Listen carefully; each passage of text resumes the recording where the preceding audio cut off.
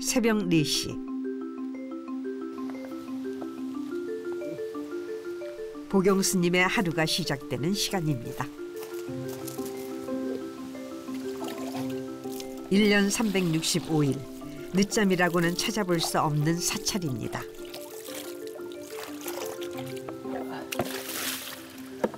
다 3시 되면 하는데 저는 1시간 늦게 예불 들어가는 거예요. 다른 데는 3시 되면 다 예불 하거든요. 그 스님들은 한 2시쯤 일어나요. 절집이 그래. 새벽을, 새벽을 제일 먼저 여는 게 절집이니까. 하늘은 밝아지고 산사의 아침이 찾아왔습니다. 소반 하나로 충분한 스님의 첫끼. 그런데 상을 들고 어디로 가는 걸까요? 자연 속에서 즐기는 진수성찬. 본명은 보경 스님. 보경이라고 합니다. 올해가 75 우리 나이로 어, 지금 한 30, 한 2년 됐죠. 40대면 사실 좀 늦은 늦게 이렇게 그래서 늦깎이라고 이야기를 하죠. 늦죠. 푸성기에 묵은지 하나가 전부인 밥상.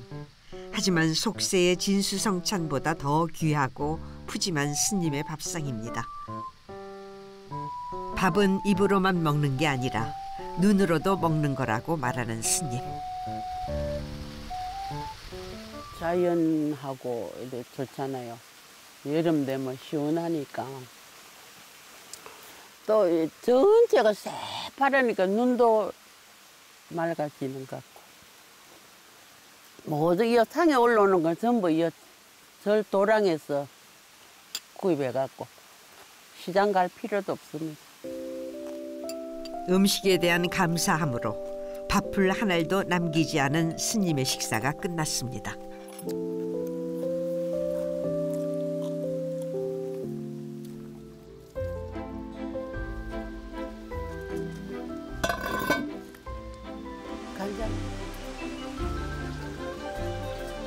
직접 만든 된장에 표고버섯 가루를 치대어 섞습니다. 이렇게 된장 하나를 뜨는 일도 이른이 넘은 스님에게는 벅찬데요. 또, 요, 우리 가무정삽 그 텃밭에서 심어가지고, 그 매주 써갖고 담은 거. 장독 하나를 장으로 채울 때마다 수천 번 허리를 굽혀야 했을 스님. 스님에게는 바로 이것이 수행이고 기도입니다. 그런데 무언가 보여줄 것이 있다는 스님. 과연 무엇일까요? 이건 20년이 넘은 된장. 어? 완전 약이라, 이거는.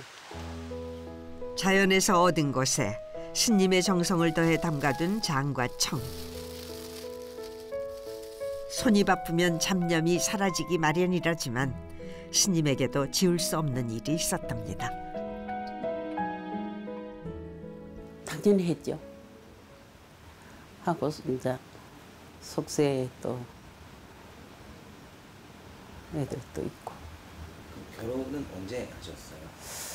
20대 20대지. 그건 내 위주로 한 거죠. 뭐 허락받아 한 것도 아니고 내 위주로 이제 뭐 손님들도 좋고 또 부처님이 맞이 올리고 하는 게 너무 좋은 거라. 그래서 이제 아, 해야 되겠다 이렇게 생각하고 우리 이제 막내가 고등학교 졸업하고 그걸 이제 출가를 한 거지. 엄마하고 자식은 벌써 출가할 때 끝난 거잖아요. 그래서 내가 나도 속세를 버리고 완 거니까. 속세의 모든 것과 인연을 끊고 법문에 귀의한 스님은 아무도 없는 암자에서의 수행을 선택한 사연이 있답니다. 비가 한두 방울 떨어지나 싶더니 거센 바람까지 날씨가 심상치 않습니다.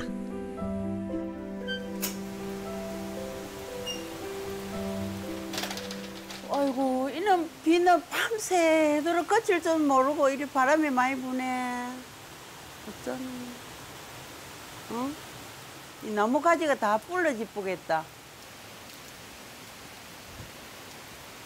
저기 다 넘어지 뻗다 어떡하나. 바람이 얼마나 부는 게 이게 넘어가 뻗다 벌써 어쩌노 이봐라. 이렇게 돼야 되는데. 바람이 너무 많이 불어 밤새 이게 넘어가 뻗네. 때때로 산사를 뒤덮치는 자연의 무서움, 느닷없는 바람과 비에 오늘 하루 하려 했던 일들이 다 무산돼 버렸습니다. 금세 다 젖었다. 어디 바람이 센지, 비바람이 센지.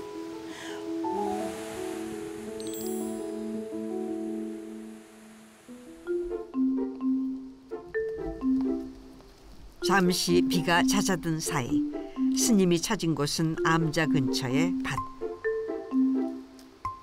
이곳은 보경 스님이 직접 가꾸는 텃밭이라고 합니다.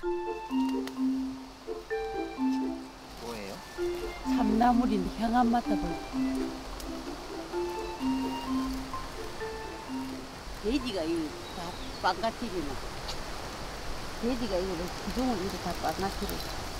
멧돼지 피해는 스님에게 익숙한 일. 스님의 한 손 가득 제철 나물이 채워졌습니다. 산 속에서 맛볼 수 있는 특식이 준비됩니다.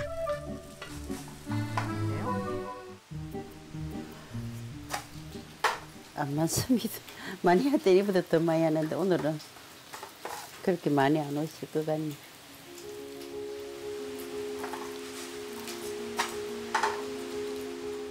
전으로도 부족했는지 이번에는 과일을 잘라 채소에 버무리는 스님.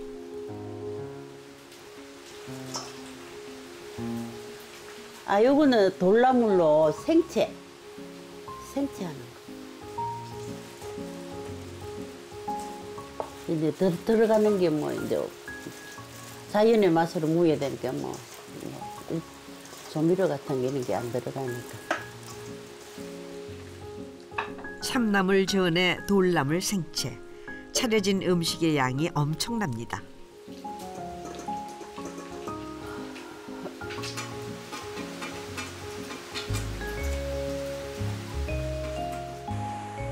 세차게 오는 비. 또 기다리세요? 네? 예. 항상 뭐, 공휴일 날은 몇 번씩 오시거든요. 그래서 오늘도 오실란가 싶어서 이래 해놓고 지금 기다리고 앉아 있는 중입니다. 아무도 찾는 이 없는 산중 암자. 스님은 이 궂은 날씨에 누구를 이토록 기다리는 걸까? 하염없는 기다림만 계속됩니다.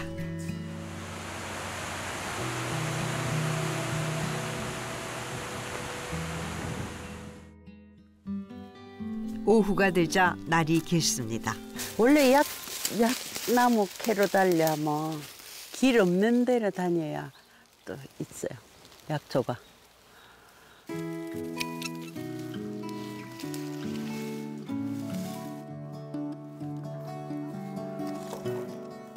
약초를 들고 향한 곳은 마당 한 곳에 자리 잡은 가마솥입니다. 불을 떼고 약초를 우려내는 이 긴 시간. 스님은 떨쳐낼 수 없는 상념에 젖어들곤 한답니다. 제일 괴로운 거는 제가 친정 보살님께서 갑자기 어디 갔다 교통사고로 갑자기 돌아가셨어요. 내가 그때 모시고 갔으면 어, 아직까지 살아 안 계시겠나 이런 생각도 들고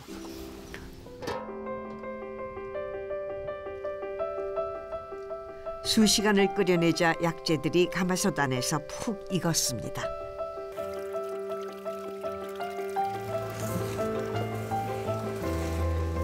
평생 죽을 때까지 노나 먹고 살아라. 그런 꿈을 제가 꿨거든요.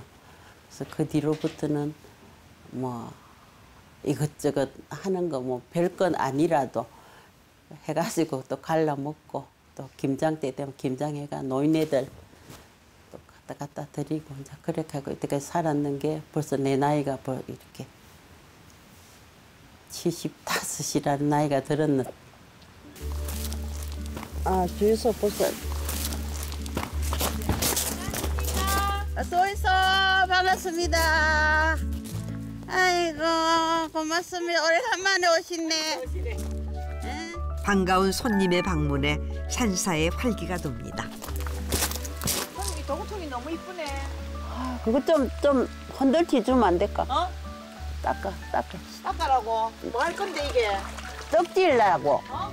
떡 뭐 할 건데 이게? 찰떡 쑥떡 오늘 지금 아 지금요. 응. 아 잘 왔네. 쑥도 이러다 못 가야 되겠네.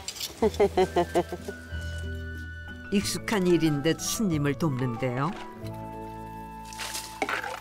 아 전에 자주 한 번씩 가끔 오는 절입니다. 이 공기가 얼마나 좋습니까? 이거 왔다 가면 물도 시원하고. 여기서 좀 멀거든요 우리는. 요거는 요래 요래 갖고 해지 몇개 올리고 응? 끔뻑끔뻑 이렇게 만들어 놓으면 얼마나 맛있습니까? 하루 종일 끓여낸 조청에 수제 인절미의 조화. 진수성찬 부럽지 않습니다.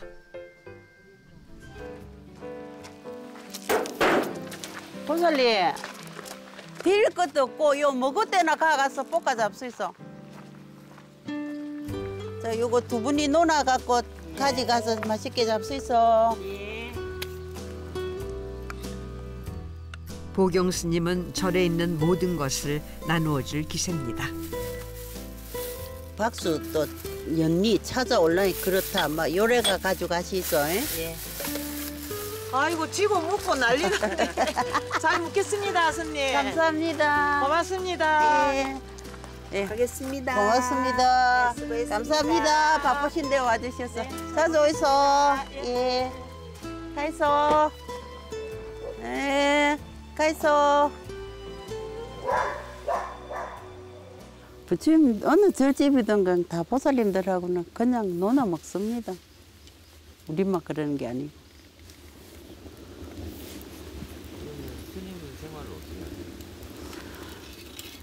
생활은 뭐 공과금만 내면은 거의 먹는 채소는 이 밭에서 다 조달이 되니까.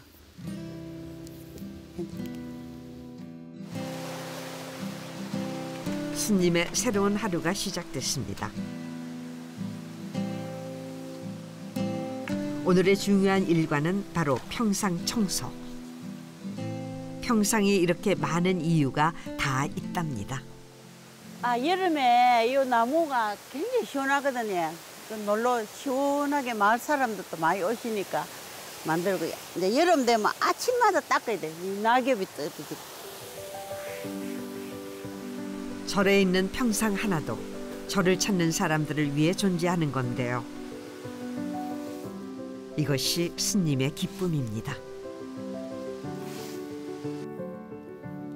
나눠주는 거는 뭐 내가 돈을 많이 주고 사와서 나눠주는 건 아니지 않습니까?